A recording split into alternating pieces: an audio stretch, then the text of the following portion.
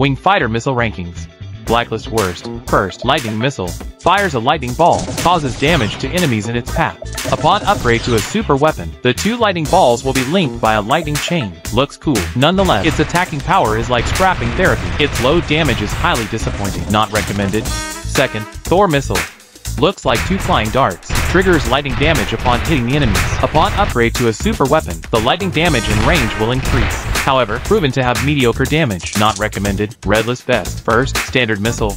Though only able to launch two homing missiles initially, Upon upgrade to a super weapon, 14 missiles can be launched at once with built-in tracking, automatically attack enemy aircraft on the screen. Precise attack, incredibly high damage. Second, Conqueror missile starts as a large cluster missile, explodes upon contact with enemy aircraft, generating several automatically tracked mini-missiles upon upgrade to a super weapon, turns into two advancing nuclear balls, continuously generating immense damage. The mini-missiles from the explosion will indiscriminately attack all enemy aircraft, both cool and powerful. Absolute Dominator.